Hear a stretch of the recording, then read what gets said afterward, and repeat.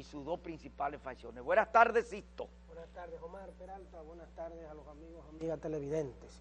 Bueno, como tú señalas, esta es una coyuntura muy especial, que tiene unas características que realmente hacía tiempo que no se veían en el país en materia de lo que tiene que ver con, se pudiera hablar, algunos analistas han estado hablando de crisis política eh, en la coyuntura, esa situación eh, intergrupal, esa lucha de tendencias entre la tendencia de Leonel Fernández y Danilo Medina en el PLD. Que no es por Pues, principio ni no, nada ni es por principio, ni que porque, porque quieren la constitución, ni porque ninguno de los dos la respetan, porque los dos la han violado Los en sus dos. diferentes momentos.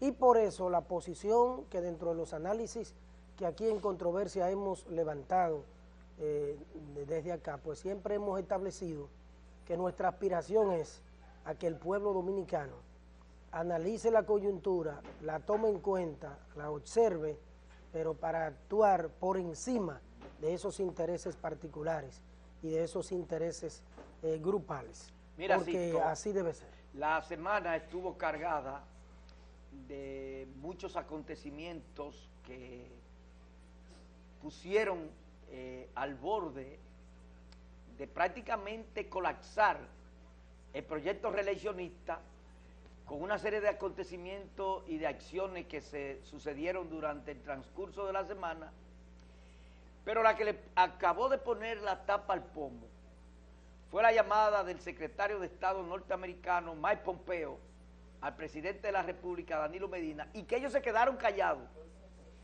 que el, Departamento de Estado colgó en su cuenta la conversación y lo que habían hablado Danilo Medina y Mike Pompeo, reiterando quien nos habla que eso es una grosera intervención de los Estados Unidos en los asuntos internos de un país, que esto es un problema de los dominicanos.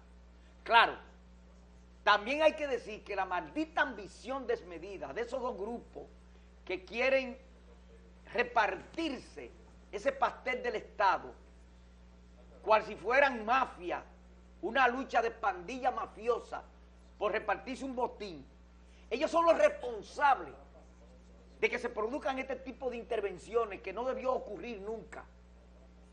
Pero que conociendo nosotros, como conocemos, que los actores políticos, empresariales y los famosos poderes fácticos de la República Dominicana responden a los dictados del poder norteamericano y que ciertamente yo digo que ahí finalizó el proyecto reeleccionista a menos que estos grupos hayan perdido tanto, tanto la perspectiva y hayan caído en un estado de locura que intenten eso porque eso va a traer una serie de consecuencias que más adelante la vamos a estar analizando.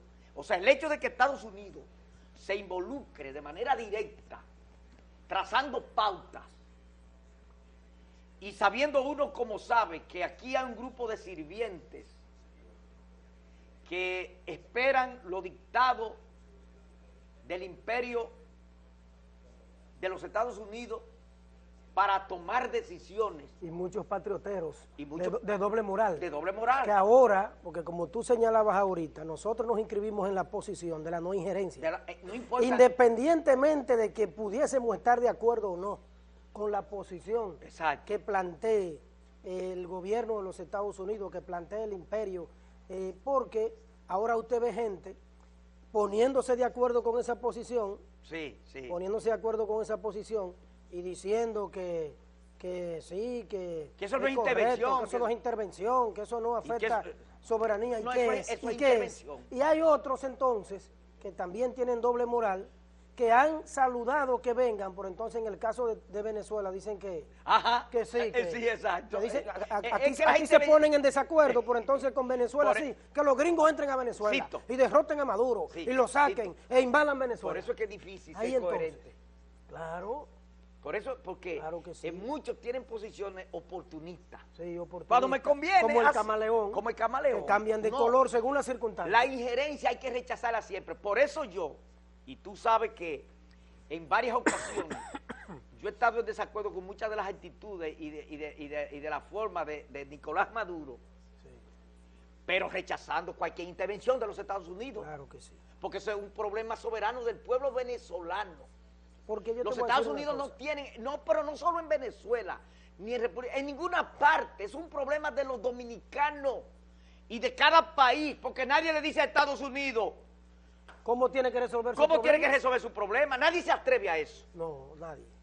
Ah, pero entonces ellos, creyéndose todavía que son el policía del mundo, entonces eh, intervienen, se creen con todo el poder de intervenir en todas partes, en todas partes. Y no es así. Pero déjame decirte, Sisto, este, la acción de los Estados Unidos de intervención tan directa es tan clara que Melvin Mañón Sí, sí, muy claro. había escrito un, un artículo clara, que precisa. dijo, Me- Melvin Mañón había dicho hace un tiempo que solo el poder norteamericano, Podía parar las pretensiones de ese grupo. exactamente, Y entonces, fíjate que como tú dijiste, la presidencia de la República se vio obligada a confirmar. a confirmar. Y así mismo comienza la nota de prensa de la presidencia de la República. La presidencia de la República confirma, la conversación. Porque. Pero porque ellos- salió en el cosa- Porque, porque salió allá. Ellos no hubieran hablado.